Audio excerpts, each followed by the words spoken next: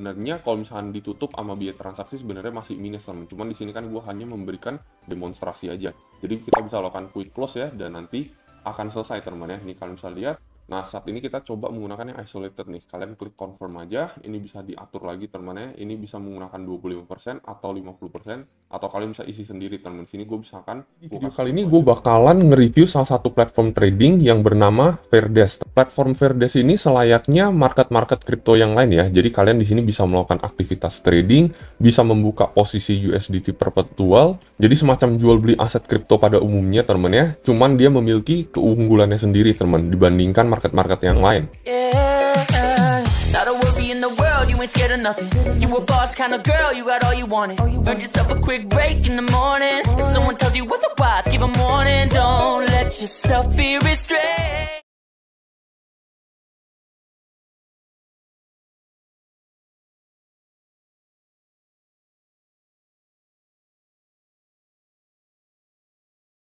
Kemudian untuk gimana caranya membuka posisi futures di marketnya Fairdesk.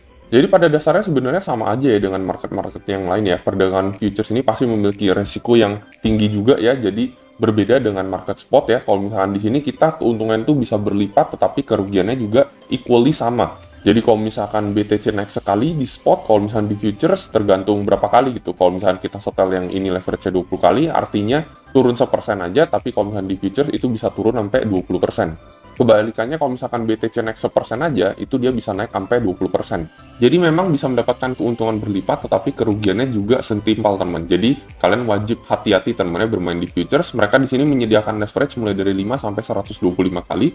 Lalu untuk cross maupun isolated di sini ya, kalau misalkan cross margin, intinya pada dasarnya di sini semuanya itu dipertaruhkan teman ya. Jadi kalau misalkan kita ada saldo sekitar 100 USD itu semuanya dipertaruhkan di dalam wallet tersebut. Jadi meskipun kalian open 10 USD, itu 90 USD itu bisa buat ngecover si 10 USD ini kalau misalkan ada terjadi kenapa-napa. Nah, itu sangat berpengaruh ya kepada wallet kalian. Tapi kalau misalkan isolated, ya kalau misalkan kalian buka posisi, wallet kalian tetap bakal aman-aman aja. Jadi kalau misalkan dalam kasus terkena likuidasi, itu pastinya hanya yang terpengaruh adalah kontrak kalian dan tidak yang lain teman, bukan dompet kalian. Untuk time frame ini sama aja dengan trading view teman-teman ya. Kalian bisa ubah ke time frame daily, kalian bisa ubah ke time frame 4 jam, 6, 8 jam, 12 jam, 3 hari, 1 minggu sampai sebulan di sini. Dan kontraknya ini juga banyak ya, nggak cuma Bitcoin, bisa Ethereum, ADA, Litecoin, TRX, Doge. Jadi sama seperti market yang lain, koinnya udah lumayan banyak banget di sini ya. Nih kalian bisa lihat sampai ada puluhan ya. Dan nanti ke depannya pasti akan ditambahkan lagi. Nah, untuk caranya buka posisi gimana? Ya di sini kita bisa memilih menggunakan limit ya. Ini limit antrian order maupun kita bisa menggunakan market secara instan kita akan membuka posisi. Ini tergantung kalian mau pilih yang mana bisa juga kondisional di sini ya. Kalian bisa atur harga ketika Bitcoin mencapai berapa baru nanti kalian akan open posisi long maupun short kalian. Nah, pada dasarnya ya pasti kalian harus yang pertama melakukan deposit terlebih dahulu. Nah, ini ada alamat kalian teman-teman ya, alamat di mana kalian harus mengirimkan ya entah itu dari Indodax Toko Crypto maupun yang lain kepada alamat yang satu ini. Ini alamatnya berbeda-beda tergantung wallet individu masing-masing. Setelah itu kalau misalkan sudah sampai teman-teman USDT-nya kalian bisa klik bagian transfer di sini. Lalu di sini kita bisa klik all aja ya. Jadi kita akan transfer dari dompet kita ke dalam akun kontrak standar kita. Kita klik transfer aja di sini. Nah, kalau misalkan udah selesai, kita udah siap melakukan trading, teman-teman ya. Jadi kita bisa ke bagian trading, lalu balik lagi ke bagian USDT perpetual dan saldo kita akan muncul seketika itu juga. Misalnya aja di sini gue akan menggunakan 50% modal dari 300 USDT tersebut. Lalu di sini gue tinggal klik open long aja ya. Kalau misalkan gue memprediksi bahwa kira-kira dalam nggak berapa lama lagi akan ada terjadi pantulan pada harga Bitcoin, gue akan klik open posisi long aja di sini. Ini hanya sebagai contoh aja ya. Nah di sini kalian bisa lihat ya marginnya sekitar 142,25 dan ini gue ada di yang cross di sini teman. Jadi ini akan berpengaruh kepada dompet gue di sini. Sisa balance gue, sisa saldo gue ini akan naik turun teman. Sampai nanti ya kalau misalnya ya kena likuidasi gitu ya ini bisa menjadi ikutan nol juga. Itu sebabnya kenapa memang resiko di cross ini sedikit lebih tinggi teman tetapi ya keuntungannya ya stop lossnya itu bisa jauh lebih rendah teman ya kalau misalnya kalian menggunakan sistem yang cross. Lalu kalau misalnya kita pengen close ya ini kita bisa menggunakan quick close atau kita bisa menggunakan advance close. Kalian bisa close di harga yang kalian inginkan maupun kalian bisa langsung instan tutup aja.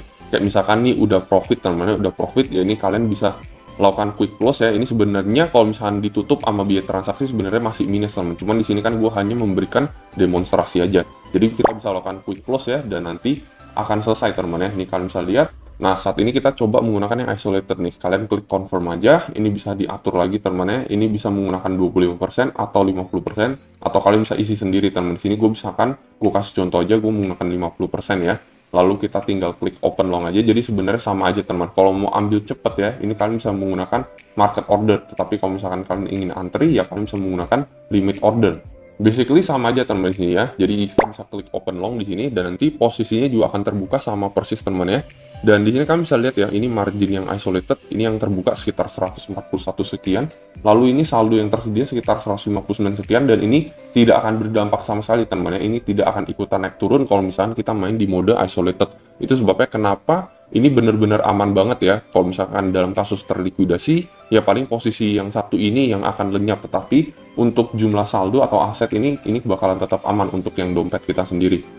Lalu di sini di bagian TPSL ya kita bisa atur juga ya, kita pengen take profit di level berapa, let's say kita pengen take profit ketika Bitcoin menyentuh level 40.000 ini estimasi profit yang kita bisa dapatkan sekitar 400 USDT stop lossnya di berapa? Misalkan stop lossnya di level 30.000 teman ya.